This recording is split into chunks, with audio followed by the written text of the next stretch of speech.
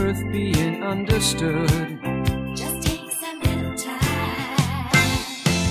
Everybody has inside a little good.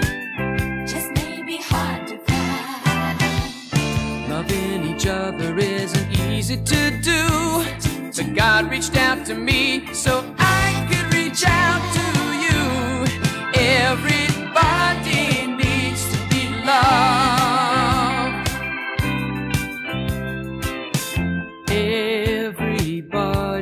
Has a little to share. That lies deep in the heart.